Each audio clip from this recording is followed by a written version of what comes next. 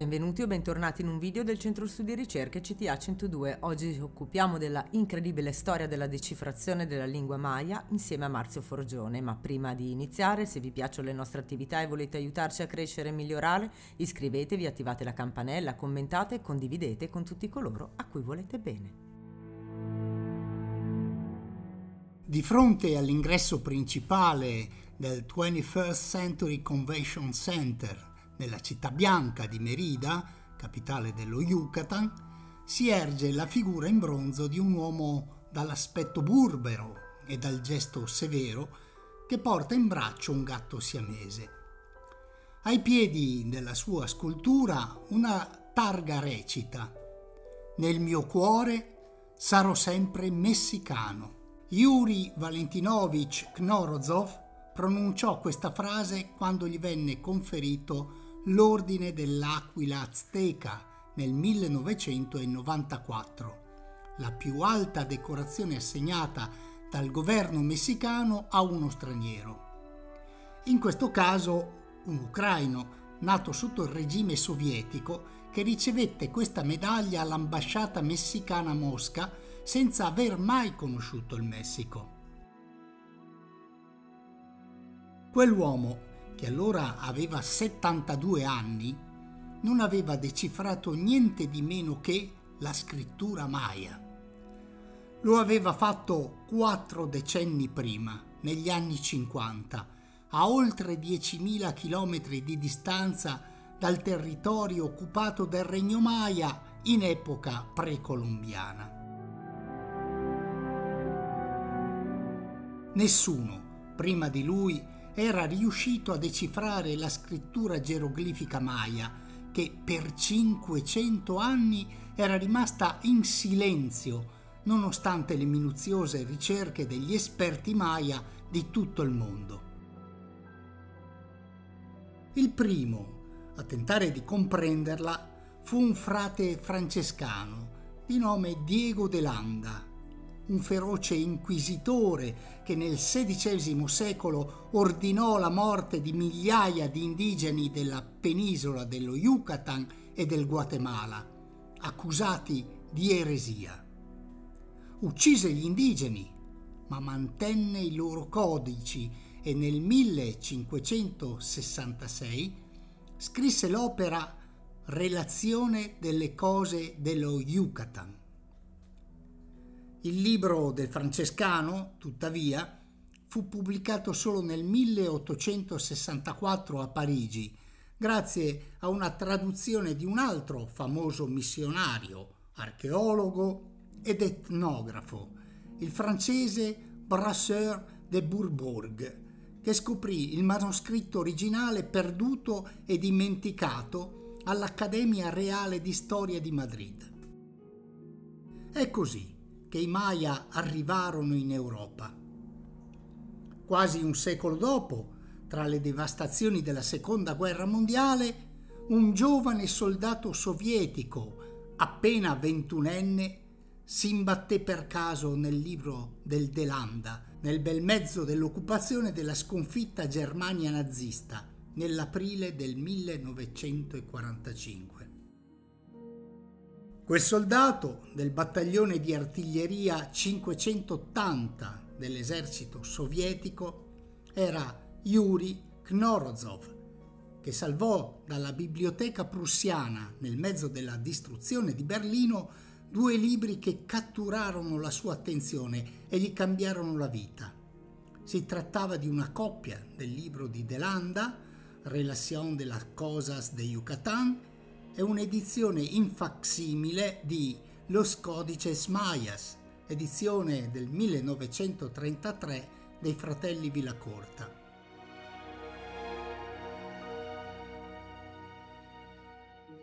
Con essi Knorozov ritornò poi a Mosca per immergersi completamente nei segreti della scrittura maya. Di fatto questo giovane militare era un genio quando dovette arruolarsi nell'esercito del suo paese, nel 1941, era solo uno studente di storia, appassionato delle avventure di Sherlock Holmes, che suonava il violino e aveva un talento per il disegno e le lingue.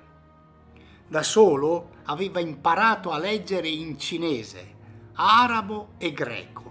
Era nato il 19 novembre 1922, lo stesso anno in cui la Russia divenne l'Unione Sovietica annettendo l'Ucraina, dove la sua famiglia viveva nel piccolo villaggio di Yuzny.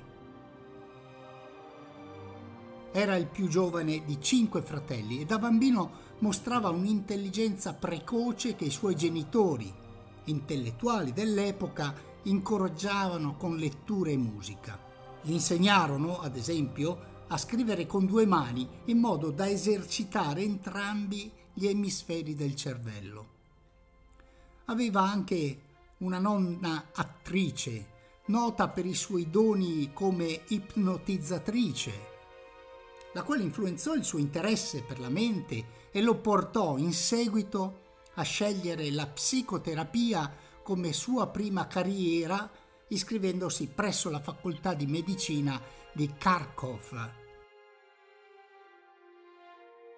Purtroppo però, malato di tiroide, il giovane Knorzov rinunciò a questa carriera e finì a scrivere per la storia. Solo due anni dopo essere entrato all'università scoppiò la seconda guerra mondiale e Knorozov dovette arruolarsi nell'esercito nonostante le sue fragili condizioni di salute. Alcuni dicono che questa fragilità gli abbia salvato la vita, tenendolo così lontano dai fronti della battaglia. I suoi compiti, si dice, erano quelli di scavare trincee e servire da insegnante per gli altri soldati. In ogni caso fece parte di quell'esercito sovietico che il 2 maggio 1945 alzò la sua bandiera sul Reichstag nella città di Berlino, dove il giovane soldato si imbatté nei Maya. La leggenda narra che Knorozov abbia salvato il libro di Delanda e la riproduzione dei codici Maya da un incendio che avrebbe distrutto la biblioteca prussiana. Anni dopo chiarì l'aneddoto in un'intervista dicendo è una leggenda, non c'era incendio. Le autorità tedesche stavano predisponendo la biblioteca per l'evacuazione per trasferirla presumibilmente sulle Alpi, in Austria. I libri, messi nelle scatole, erano in mezzo alla strada, così io ne ho scelti due. Passò del tempo prima che Knorozov riuscisse ad approfondire i segreti dei codici Maya. Ritornato nel suo paese nell'autunno del 1945, abbandonò la storia dell'etnografia all'Università Lomonosov di Mosca per intraprendere delle spedizioni archeologiche ed etnografiche nella regione dell'Asia centrale. Lì si interessò alle pratiche sciamaniche e ai riti ancestrali delle confraternite sufi, i musulmani che praticavano la loro religione segretamente alle spalle del regime sovietico. Insieme ai suoi studi sullo sciamanesimo, Knorozov si specializzò in egittologia e lingue antiche. Le sue indagini lo portarono a mettere le mani su un testo che sfidava la sua intelligenza. Era un articolo intitolato La decifrazione delle scritture Maya, un problema insolubile, articolo scritto dal tedesco Paul Schellas. La sua lettura lo incuriosì così tanto che abbandonò tutto per dedicarsi completamente allo studio della scrittura maya, malgrado l'opposizione dei suoi insegnanti. Molti pensavano che fosse troppo giovane e inesperto per intraprendere un compito di quella dimensione la sua risposta all'incredulità fu qualsiasi sistema o codice creato da un essere umano può essere risolto da qualsiasi altro essere umano. Unico accademico a fidarsi di lui e a sostenerlo fu Sergei Tokarev, suo professore. Knorozov si mise quindi al lavoro e iniziò imparando prima lo spagnolo e ottenendo dei facsimili dei codici Maya da Dresda, Parigi e Madrid. Erano i tempi della guerra fredda e la cortina di ferro impedì al ricercatore di lasciare l'Unione Sovietica. Pertanto, tutto ciò che egli imparò sui Maya, lo Yucatan e il Messico lo ricavò attraverso libri e documenti.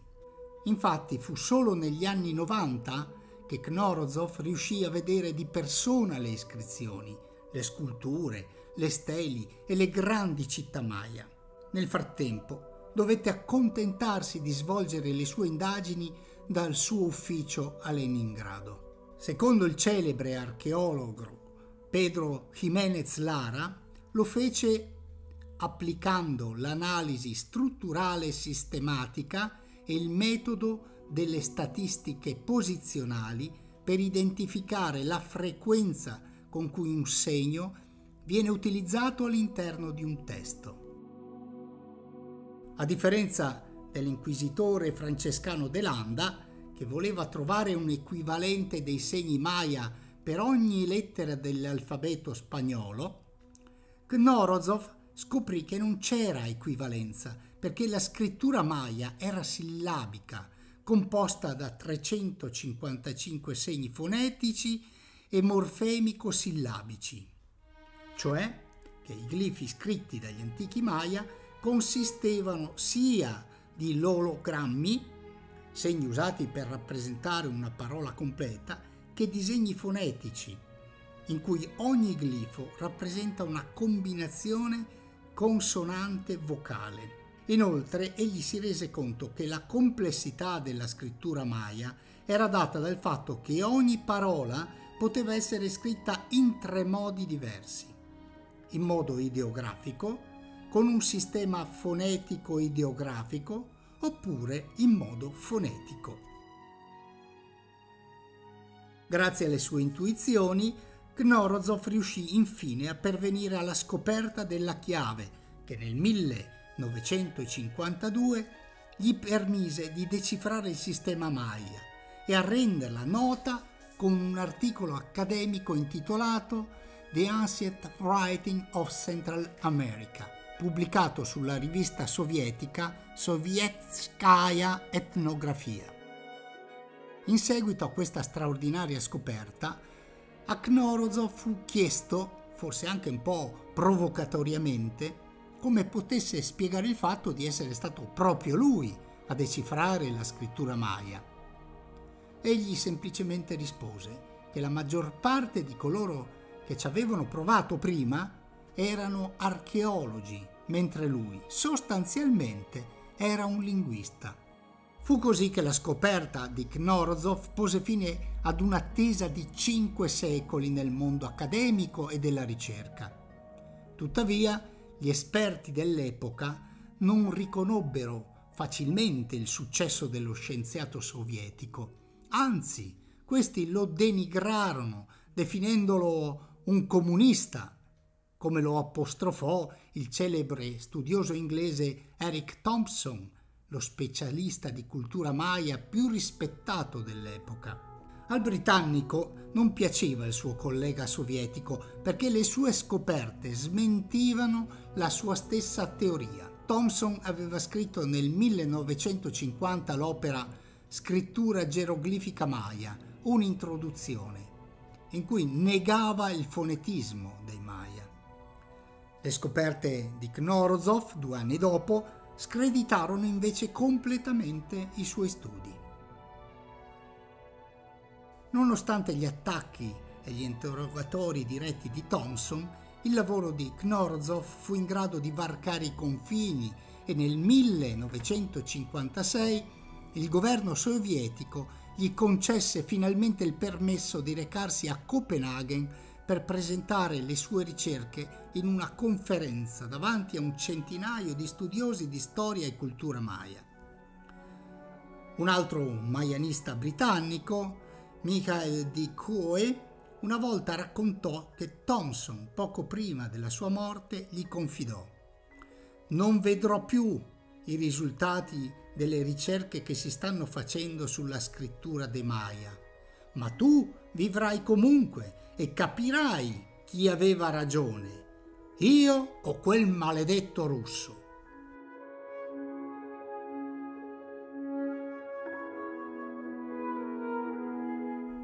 In realtà Knorozov non fu affondato affatto dalla critica, ma il suo riconoscimento fu semplicemente rinviato, poiché sebbene sia stato solo nel 1970 che il suo metodo venne riconosciuto e applicato definitivamente, da quel momento in poi nessuno ne ha mai messo più in dubbio la serietà e l'efficacia. Nel suo libro del 1992, Breaking the Maya Code, l'antropologo e archeologo Michel Douglas Coe, considerato uno dei massimi studiosi del XX secolo sulla civiltà maya, ha riconosciuto ufficialmente la saggezza di Knorozov e gli errori di Thompson, tanto da affermare in un'intervista ora siamo tutti Knorozovisti.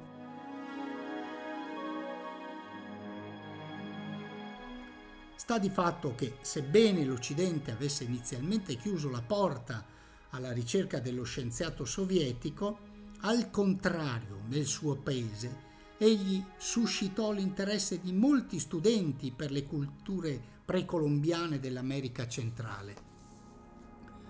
L'Accademia delle Scienze dell'Unione Sovietica, ad esempio, pubblicò America Latina, una rivista specializzata che diffondeva le ricerche di Knorozov e di altri specialisti sovietici.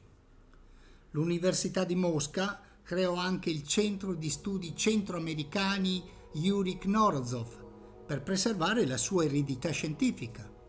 Fu così che per decenni gli etnografi centroamericani dovettero andare a Mosca per incontrare e ascoltare la voce dei loro antenati precolombiani.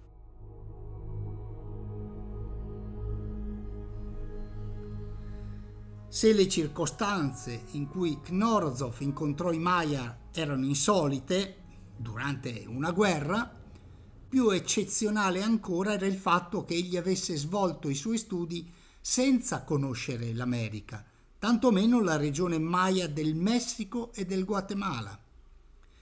Infatti il suo primo viaggio nel continente risale al 1991, quando si recò in Guatemala, nel pieno del crollo del regime sovietico. Lì poté visitare la zona archeologica di Tikal e Huashacatun e riceve l'ordine del Quetzal, la più importante onorificenza del governo guatemalteco. A Mosca poi, nel 1994, il governo messicano gli conferì, presso la sua ambasciata, l'ordine dell'Aquila Azteca. E finalmente, un anno dopo, lo studioso poté visitare il paese. Qui si recò nella zona archeologica di Palenque, nel Chiapas, e nel parco ecologico di Xcaret, nel Quintana Roo, dove qui partecipò al terzo congresso internazionale di studi sui Maya. Oggi tutta la sua opera è tradotta in spagnolo e negli stati dello Yucatan di Campeche e del Chiapas sono presenti diversi centri culturali e di ricerca sulla cultura maya che portano il suo nome. A solo quattro anni dal suo viaggio in Messico, il 30 marzo 1999, Yuri Valentinovich Knorozov morì nei corridoi di un ospedale, vittima di un ictus fu sepolto in un dismesso cimitero nei pressi di una vecchia discarica di rifiuti a San Pietroburgo, l'ex Leningrado. Il piccolo monumento funebre a lui dedicato è costituito da una stele nel caratteristico stile Maya. Sul fronte vi è un bassorilievo che lo ritrae con in braccio Asia, la sua amata gatta siamese. Sui lati vi è scolpita, sempre con glifi maya, la sua data di nascita e di morte. Sul retro vi è invece una copia di un basso rilievo tratto dalla città di Palenque, il sito più amato dallo studioso.